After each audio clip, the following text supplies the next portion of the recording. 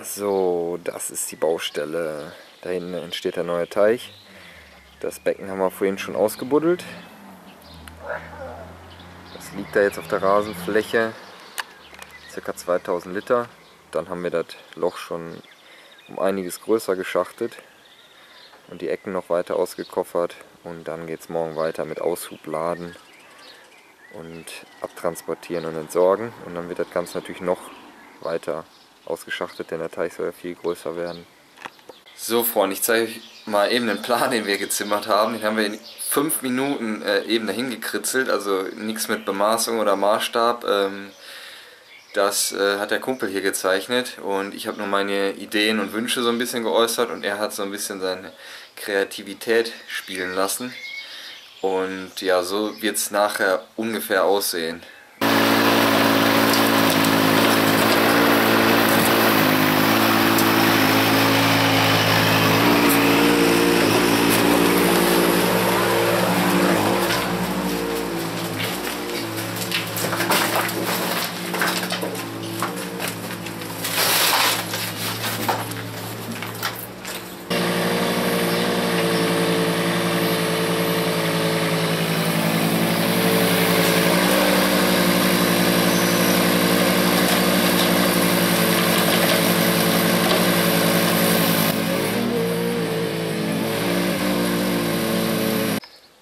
So, die Terrassenfläche ist hier schon vorbereitet. Wir setzen jetzt zunächst die Einfassungen hier entlang dieser weißen Schnur.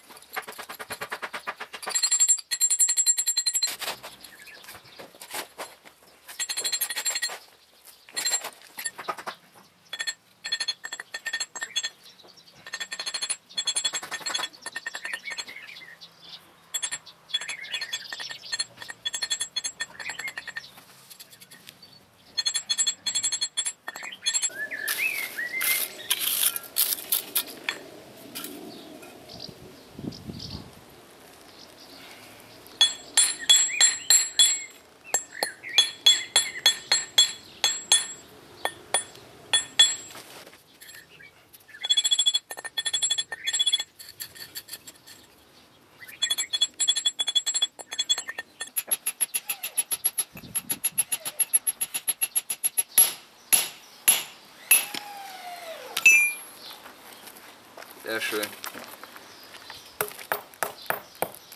Klasse.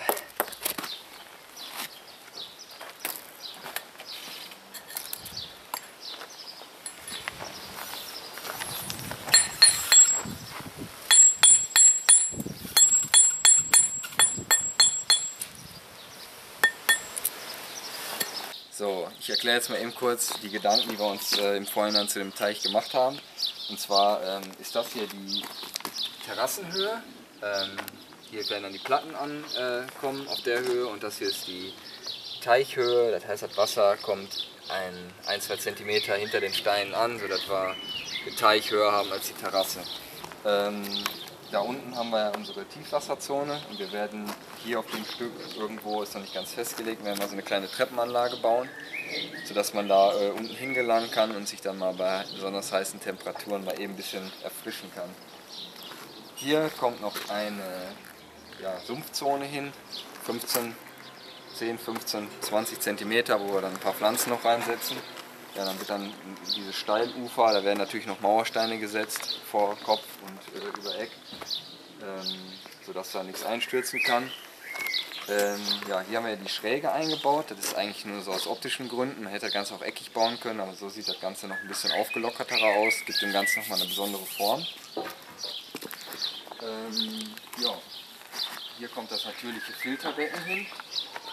Da kommen dann Filterpflanzen rein, die das Wasser dann auf biologische Art und Weise filtern. Hier wird auch nochmal dann ein Stein aufgemauert, sodass das Ganze höher ist als der Teich. Die Teichpumpe pumpt das hier rein. Die Filterpflanzen entziehen dem Ganzen die Nährstoffe, die kann man dann abschneiden und so entfernt man die Nährstoffe und dann die Pflanzen wachsen und so ist halt eigentlich ein ganz natürlicher Prozess, wie das Wasser gefiltert wird. Über das Filterbecken gelangt das Wasser dann wieder über einen kleinen äh, Auslauf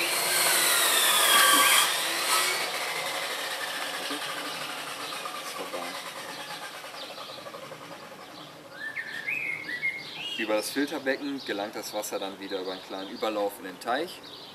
Und ja, wo ich hier stehe, das wird, wird so die Flachwasserzone sein, die dann langsam herabfällt und dann haben wir da unten unsere Tiefwasserzone. Ja, das Ganze wird dann noch schön bepflanzt und dann äh, haben wir nachher, glaube ich, eine sehr schöne Anlage. Wir verfugen jetzt die Großpflastersteine hier. Das machen wir mit Krasszementmörtel. Da es ein bisschen wärmer ist heute, haben wir das Ganze etwas feuchter gemischt. Ähm, Kelle und Mauerkelle braucht man dafür. Und ich habe hier meine schnelle Eingreiftruppe, sodass wir hier heute wahrscheinlich noch die Teichfolie einbauen werden und ins Wasser springen werden. Richtig? Ja. okay. Also ihr nehmt das gleich, immer so eine gute Kelle und füllt das erstmal vor. Das kann man ruhig mit der großen Kelle da reinstopfen. Eine Hand hinten, weil sonst rieselt das ganze Zeug raus.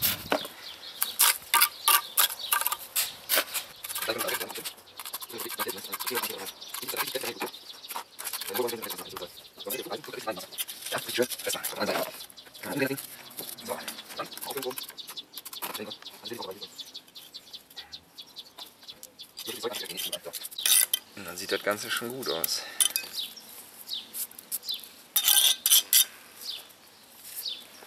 Fertig.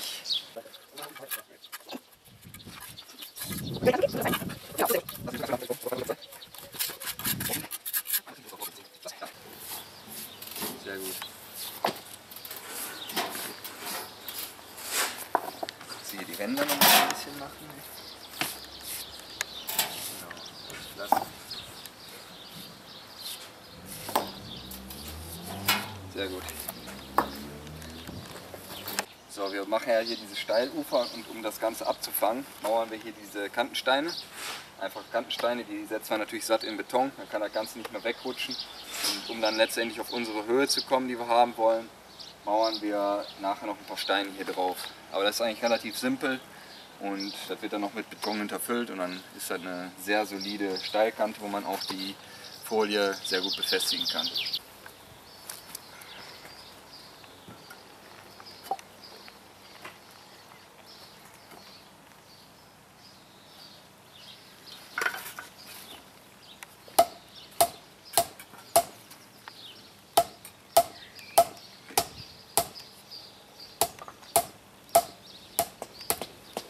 So, wir müssen natürlich Steine auch in der Waage sind.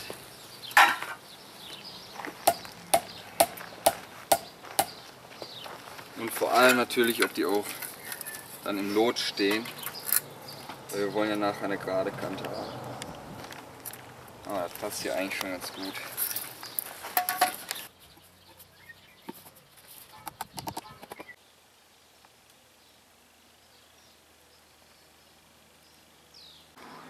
So, hier sieht man jetzt das zweite Steilufer, der Schenkel nach links. Den haben wir gestern auch noch beendet. Ja, und da wird jetzt noch aufgemauert und auf der weißen Schnur, also entlang der weißen Schnur, werden noch diese Schalsteine gesetzt.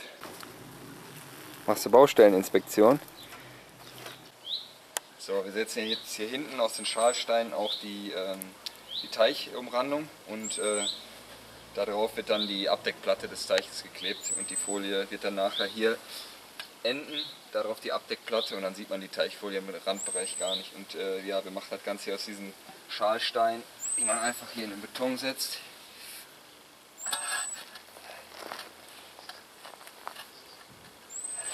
Kann man hier mit dem Gummihammer dann einfach runterkloppen auf Höhe.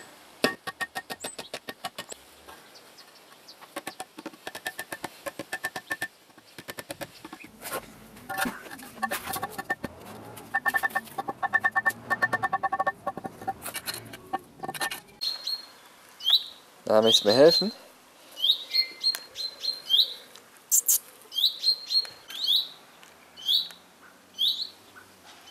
Amio, hast du alles im Griff?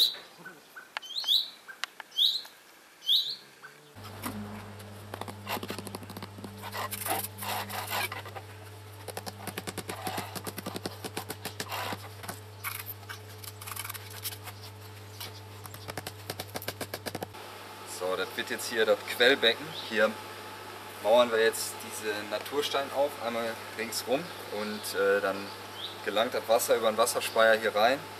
Ähm, und dann ähm, mauern wir hier so einen Überlauf ein, wo das äh, Wasser dann äh, zurück in den Teich fließt.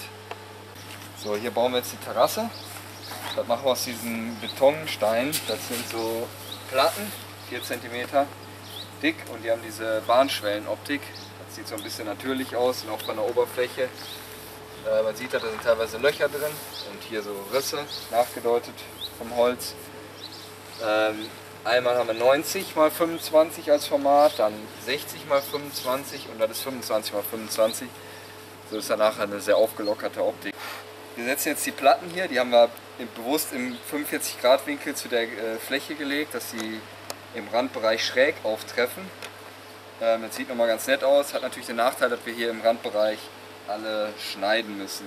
Aber es sieht nachher optisch natürlich viel äh, lebhafter aus und abwechslungsreicher, als wenn wir die hier einfach so gerade legen würden.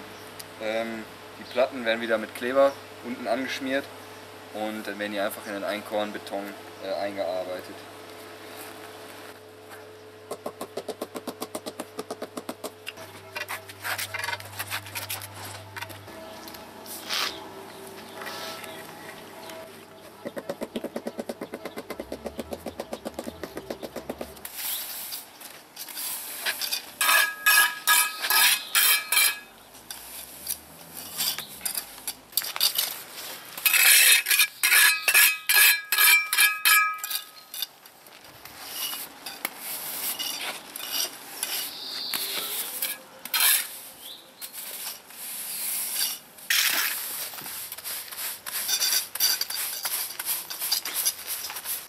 So, für die richtige Atmosphäre braucht man natürlich auch ein bisschen Licht. Deswegen habe ich mir mal hier so eine schöne Laterne gegönnt. Die haben wir hier gerade montiert. Mit Milchglas, ähm, dann wird man auch nicht so geblendet. Und ich finde auch, die hat eine schöne Höhe und passt hier gut in die Ecke rein.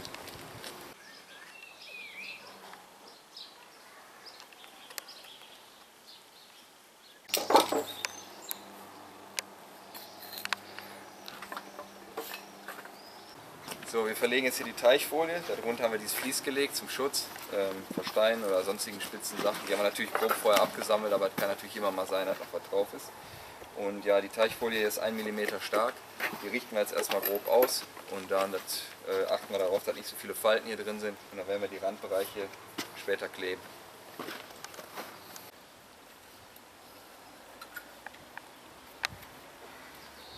So, wir kleben jetzt diese Abdeckplatten auf den Teich. Und da ähm, kleben wir dann nachher auch drunter. Unter die Kante kommt die Teichfolie. Und dann wird bis dahin auch das Wasser aufgefüllt.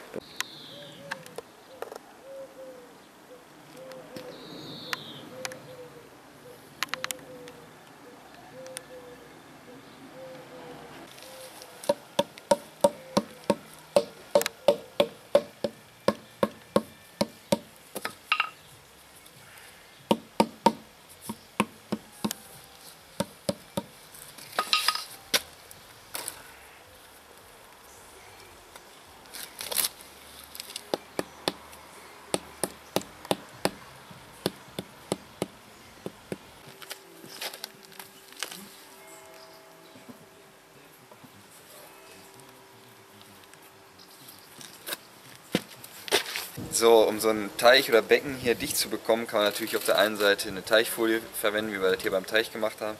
Nur hier bei dem Becken habe ich nicht großartig Lust, hier was reinzufummeln. Mm, deswegen streichen wir das hier mit einer Zementhaftschlemme aus und das ist eigentlich äh, noch einfacher.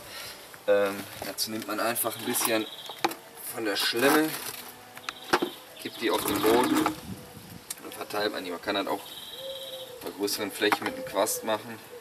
Aber hier haben wir Ecken, deswegen habe ich hier einfach so einen Pinsel genommen. Äh, das Ganze muss man in mehreren äh, Schichten aufbringen ähm, und dann ist halt wasserdicht.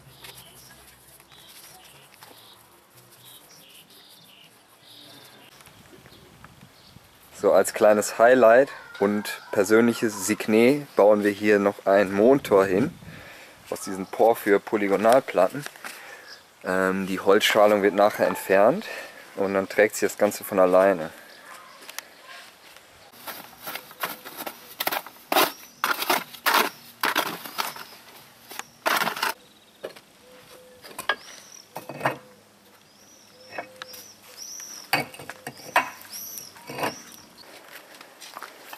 Teichfolie ist schon verlegt. Wir legen jetzt da unten ein paar Steine, sodass man die Teichfolie nicht mehr sieht und eine, in den Bereichen, wo man die Böschungen zu steil sind, wo wir keine Steine platzieren können, legen wir Steinfolienmatten aus. Hier in dem Bereich kleben wir schon die Teichfolie an die Abdeckplatten.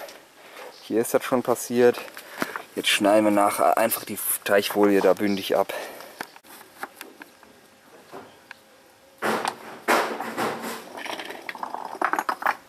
Hier haben wir jetzt das Motor gebaut ähm, aus diesen Porphyr-Bruchsteinplatten. Das minimal ver vermörtelt und äh, wir lassen den Mörtel jetzt aushärten und dann werden wir diese Holzform abbauen und dann steht es im besten Fall ohne Form. Wir hoffen natürlich, dass er nicht zusammenbricht, aber das sollte klappen. Ähm, ja. So, wir haben ja heute 39 Grad. Morgen wird es auch nochmal 39 Grad oder sogar 40 Grad und äh, übermorgen auch. So, und deswegen bin ich jetzt froh, dass wir das Ganze mit Wasser befüllen können. Äh, heute haben wir hier diese Abdeckplatten noch geklebt. Ähm, die werden natürlich alle unter Wasser sein. Ähm, und hier haben wir äh, ein paar Tritte gesetzt, ähm, wo man dann nachher hier hintreten kann und dann hier in die Tiefwasserzone mal reinspringen kann. Und dann haben wir hier noch eine Treppe gebaut, dass man hier auch wieder raus kann. So, hier haben wir jetzt die Teichpflanzen. Also ein paar, damit wir erstmal so einen Anfangsbesatz haben, die wir schon mal vorher einsetzen. Da kommen natürlich noch viele mehr und jetzt verteilen wir hier gerade den Kies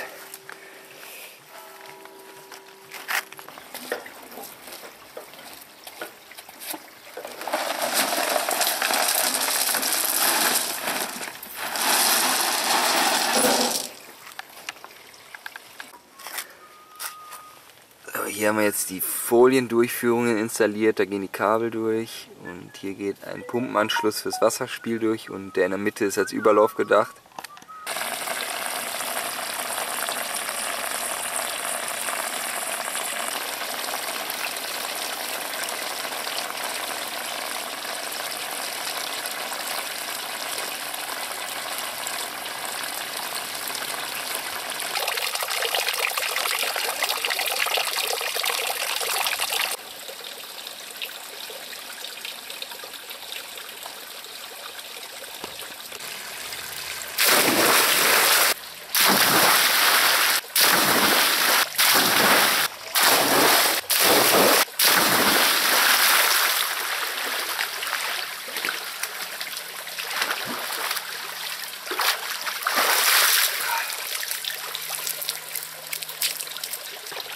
Gibt nichts Besseres im Sommer als so eine Erfrischung. Gerade wenn es so heiße Sommer sind wie die letzten Jahre. So, das Video kommt jetzt hier zum Ende und deswegen möchte ich mich nochmal bei allen Leuten ganz, ganz herzlich bedanken, die mir hier geholfen haben bei diesem schönen Projekt. Ich finde, hier ist was richtig, richtig Schönes entstanden und wir haben ja wirklich ganz tolle Arbeit geleistet. Äh, vor allem bei den Temperaturen, die hier geherrscht haben, teilweise 42 Grad, die heißesten Tage, die jemals in Deutschland gemessen worden sind. Und wir haben ja so viele Tonnen Material bewegt. Von daher riesen Respekt und vielen Dank an alle Leute, die mir geholfen haben. So, dann natürlich auch nochmal recht herzlichen Dank an alle Leute, die zugeschaut haben. Ich hoffe, euch hat das Video gefallen. Wenn ja, dann lasst mir doch einen Daumen nach oben und ein Abo da. Darüber würde ich mich wahnsinnig freuen. Äh, das Video endet jetzt hier noch nicht. Ich werde gleich, äh, wenn es dunkel geworden ist, noch ein paar Eindrücke da lassen von der Gesamtsituation, äh, weil wir da natürlich auch viel mit Licht gearbeitet haben. Und äh, dann habt ihr das dann auch so nochmal gesehen. Also bis zum nächsten Mal.